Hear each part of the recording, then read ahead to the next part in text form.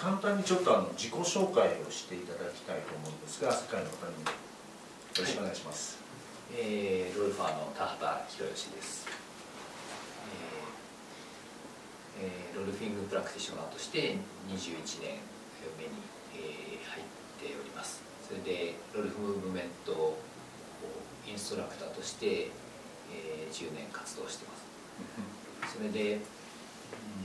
とロルファーになる前はバイオ系の研究所の研究員としてインターフェロンとかあるいはトレハロースの研究をしている研究所に9年勤務していました。でロルファーになってからはまあそれらのバックグラウンドをですね生細胞生物学的な観点とあと、えー、最近では日本特有の間ですとか、あるいは、えー、腹ですね、そういったことを、まあ、積極的に取り入れたあロルフムーブメントの枠にそれらを、まあ、取り入れた状態でのあのワークを、まあ、探求して、うん、えー、ロルファー向けに継続教育を提供しています、はい、東京で活動しています。で本日ちょっと、えー、お伺いしたいのは先日あのニコラさんと一緒にあのワークショップした分なんですがそのワークショップ初めてのヨーロッパの講師とのワークショップだと思うんですが、い、かがでしたでしょうか？いやあのここにいらっしゃる串崎さんのおかげもありましてすごくあのエキサイティングな体験でした。うんと今までいろんな講師の方はアシストしたり、えー、一緒に教えたりしてたんですけどもとてもクリエイティブで自分自身もインスパイアされて、なおかつ、えー、生徒さんたちのレスポンスもすごく良かった、まあ、大成功のワークショップだったと思っています。そうですね。私も実際にあのクラスを一緒に受けてまあ面白そうだなということでそのニコラさんを呼んであのダーサさんと一緒にワークショップしていただいたんですがていうんですかニコラさんがおっしゃった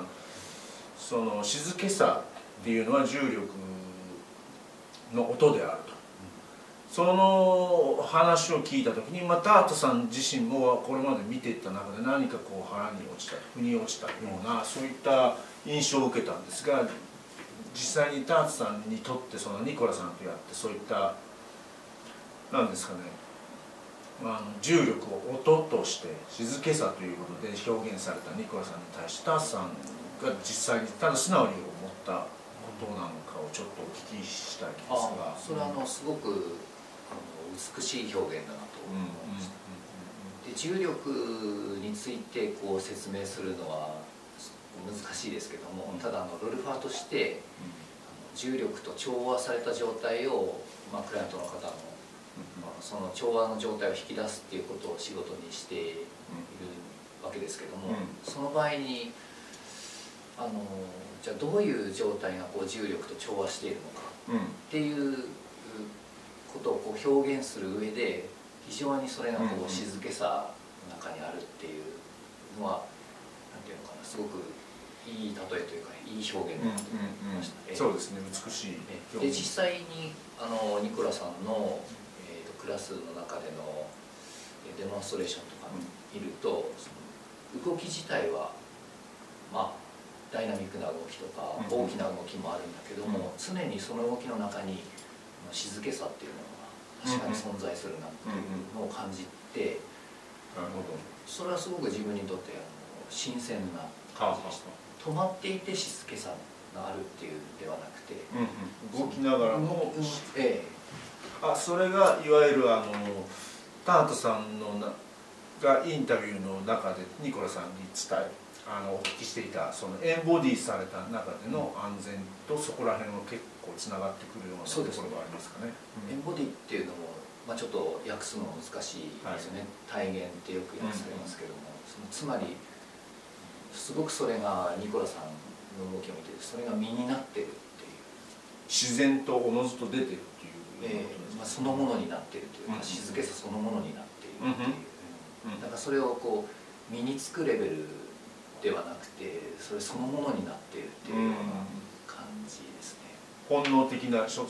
原初的な動きというかっていうことですかねそれは。とそれがその、うん。まあ、その深い細かいレベルでもそうだし、うん。彼自身存在自体が静けさを持ってるっていう、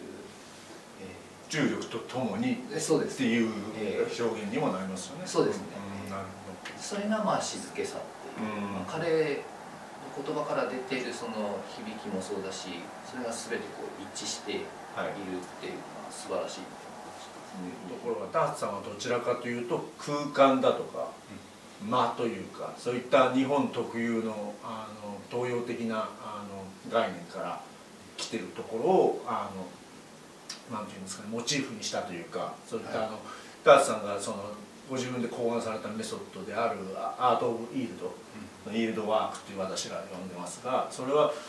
ちはどちらかというとその重力という言葉よりもそちらの空間間そういったものの方があのよく聞くんですけれど基本的に田畑さんはこれまで大体そういった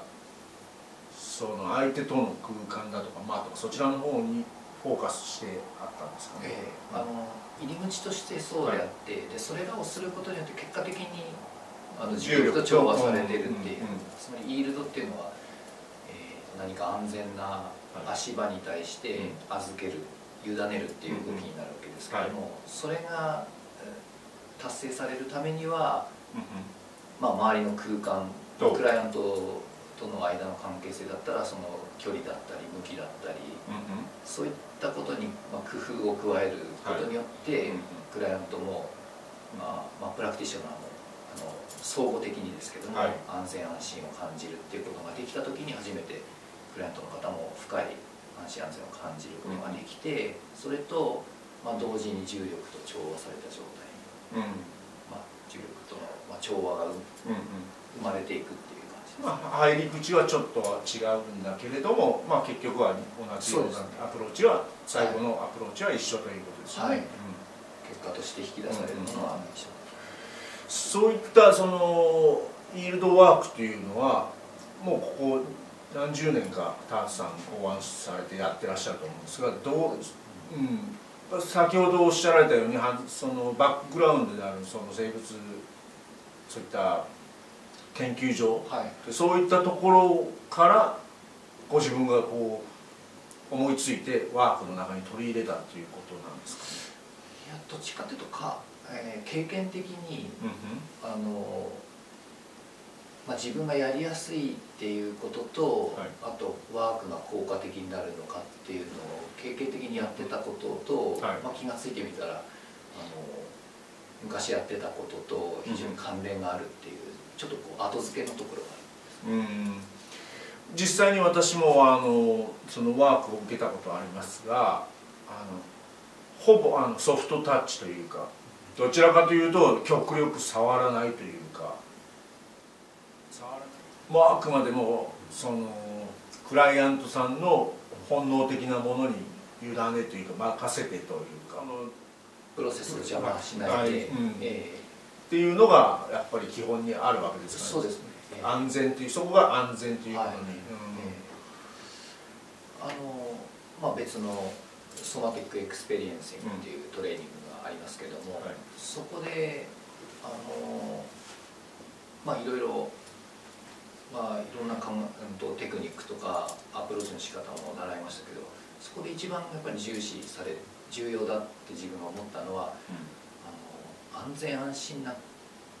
まあ、環境をうん提供できればあまりこちらで何かうん介入しなくて何かしようとかうん。しなくても、うん。もうそれらは全てこう枝葉の部分にうん。なっているん。で、むしろその、まあ、例えばコンピューターでいうと、うん。アプリをたくさんはい。仕入れて、はい。ぶっ込むっていうよりも、うんまあ、OS のところを変えてしまった方がいいっていうその基本になる一番はい。根底のところはうん安全安心はいっていうことで、うんうん。そのクオリティをできるだけ、阻害しないようにまあ、あのその安全安心を深めるっていううんうん。でそれを、まあ、そこにこうきちんとフォーカスしていけば、あんまり後のことは考えなくてもいいんじゃないかなっていうふうにまあ、そういったこう考えからじゃあどどういうあのプラクティショナー側が、まあ、意識を持ってたり知覚状態だったらそれが提供できるのかっていうことを、まあ、動動機にして、まあ、探求してるそのやっていく中で極力その介入を減らせば減らすほど安全なそういった場がさえできていればできていればかえって介逆入しない方方ががえ。えということでうんなるほどですね。あのまあ開発国の援助と同じそれはでしょうか？つまりその、うん、その国の,、はい。あの自立性を促すのには過剰な、なるほど。えー物資とかそのそこからこうひなるほど。あえーあまりそのこちらからも手を加えちょっとしたその援助というか最低限レベルのそのは低限の、えそれがいわゆる人にとっての安全というそういう場を提供するということであとはそれさえその安全という場さえ与えられればというかそのいう条件にーえ。ークライアントさんがあのとどまることができれば要するにそういうそれはああ,、うん。のその体で体で言うとあの必要なプロセスをどういう、まあ、あの進めることができるっていう、うんうんうん。そのまあ条件付けになるんじゃないかな。うんうんうん、そういった